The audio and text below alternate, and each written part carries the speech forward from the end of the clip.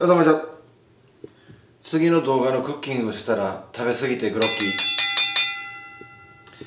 ということでですね、えー、今日も言ってみますか。クリスの3 Minute English 和製語バージョンという感じでいかせていただきたいと思いますが今回もねちょっとスポーツ特集に行ってみたいと思うんですが、えー、短くいきたいと思いますね。紳士のスポーツジェントルマンスポーツゴルフをちょっと取り上げていってみたいと思います。つねゴルフで疑問に思うことがあるんですよね。まあもちろんイギリスから来てる紳士のスポーツなんでほとんどほぼ8割ぐらいの使ってる言葉は英語なんですが全英オープンとかの解説を聞いてるとしましょう。何々さんが何々ホールを2アンダーで回ってます3アンダーで回ってます5アンダー2オーバーって言いますよね。12ぐらいからですね12オーバー12アンダーって言わないんですよね。なぜか不思議12オーバー13オーバーとかねそこだけね日本語に変わるんですね。もしかしたらね言いづらいのかなっていうのがあるんでしょうね。さて皆さんおなじみのゴルフコンペでよくあるドラコンねニアピン。これをね英語だったらどういう風に言うか。まず今言ったようにニアピンですね。何て言うか分かりますか？ニア。もちろん近いですよね。2つね言い方があるんですよ。まず1つ目はね、えー、closest to the pin closest to the pin でもう一個。これはねどういう依頼であったのかっていうのはそこまで僕も調べれてないんですけども。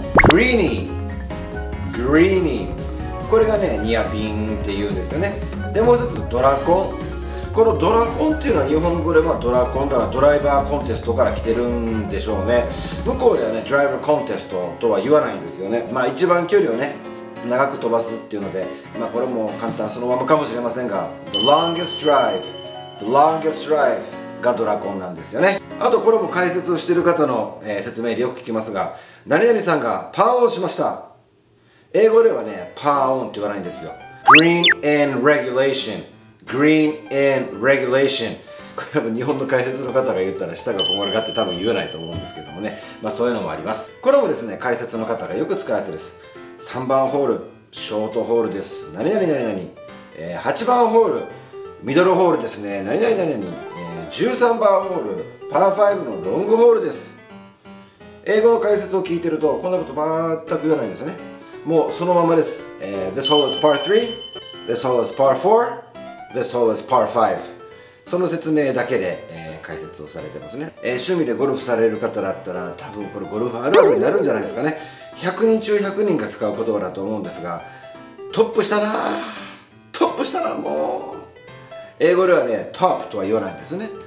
トップとは言いますけどももう一個ね言い方があるんですよ。thin shot 僕言いますよ。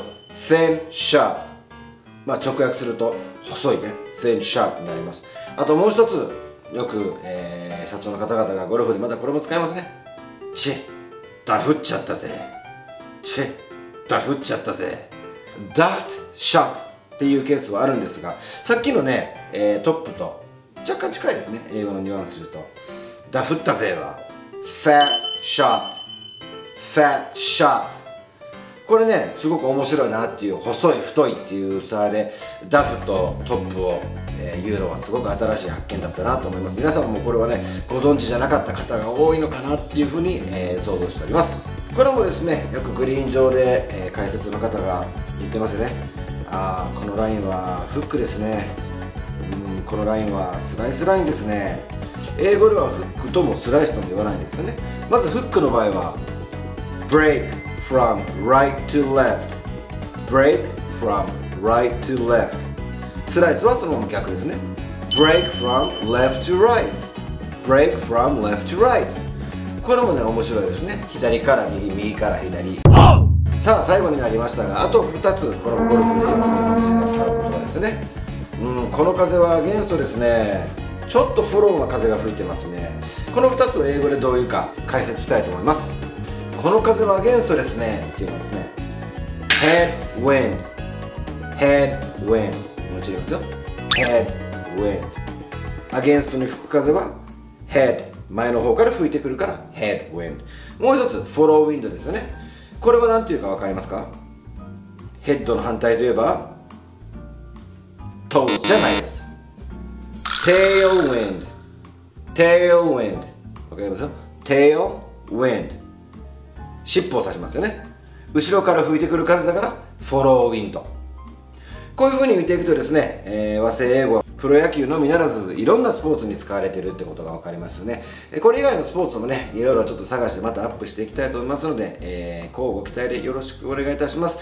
この辺ですかね。サブスクライブボタンがあると思いますので、えー、ぜひともポチッと登録のほどよろしくお願いします。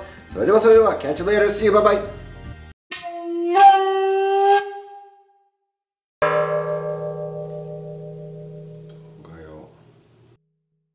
まず一つ目はね動画の